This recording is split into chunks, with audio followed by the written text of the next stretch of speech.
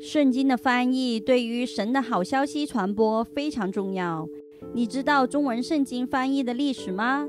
今天国度一分钟与大家一起认识中文圣经翻译简史。一八二三年，马礼逊翻译的《神天圣书》是基督新教第一部在中国翻译的圣经。马礼逊在一八零七年进入中国学习中文及开展翻译圣经工作。他在一八二三年马六甲出版《神天圣书》。同一时期，英国浸礼会宣教士马舒曼在印度主持中文圣经翻译《新遗诏书》及《新旧遗诏全书》，在一八二二年完成及出版。一八五零年到一九一零年，不同地域语言的圣经译本涌现。一八四二年，鸦片战争爆发，中国宣教之门大开。一八四三年，英美宣教士在香港讨论如何重译圣经。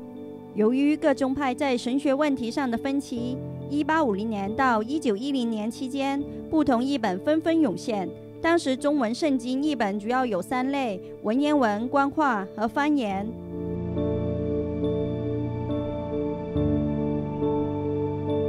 1919年，和合本诞生，至今是一百周年。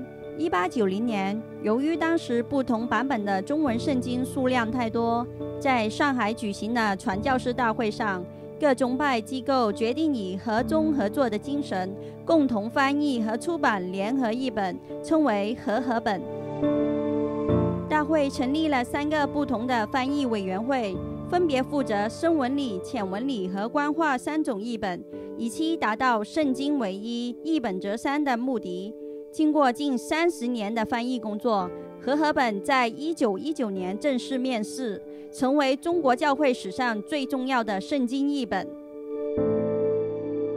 七十年代至今，陆续有不同译本的中文圣经完成，包括一九七零年吕正中译本、一九七六年圣经新译本、一九七九年现代中文译本，以及二零一零年和合本修订版。